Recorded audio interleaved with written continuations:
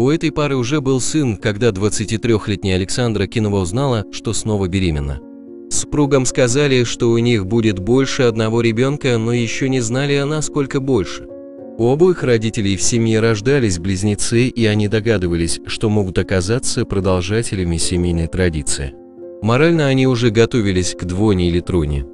Второе обследование уже на более позднем сроке показало, что у пары будет четверня. Супруги не успели даже отойти от шока, как врач огорошил их снова эмбрионов все-таки пять, один малыш просто прятался. Когда пришло время родов, врач позаботился о том, чтобы все прошло гладко, поэтому персонала было 40 человек. Благодаря кесаревому сечению свет увидели девочка и четверо мальчиков. Пятерняшки рождаются в среднем раз в 480 лет. В мире было зарегистрировано всего 134 случая, когда в семье появлялось сразу пятеро малышей. А шанс зачать пятерых близнецов составляет 1 на 47 миллионов.